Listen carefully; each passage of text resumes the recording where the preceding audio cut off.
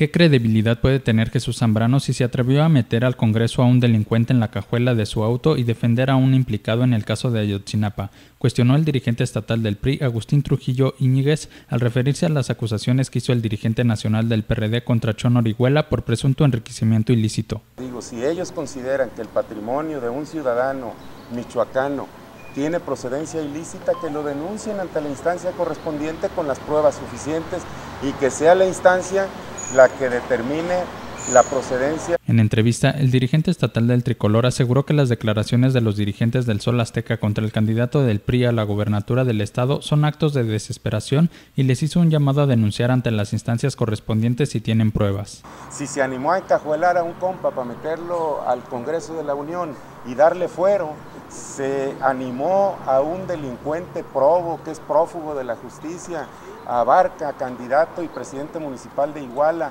a levantarle la mano siendo presidente del PRD y a defenderlo cuando se supo que había esos desaparecidos de Ayotzinapa, bueno, pues qué credibilidad puede tener un tipo de esta naturaleza. Trujillo Iñiguez fue entrevistado frente a las instalaciones de la PGR donde acudió a aportar pruebas de las denuncias que presentaron en días pasados contra Silvano Aureoles. Con información de Sandra Sáenz Informa, Cuasar TV.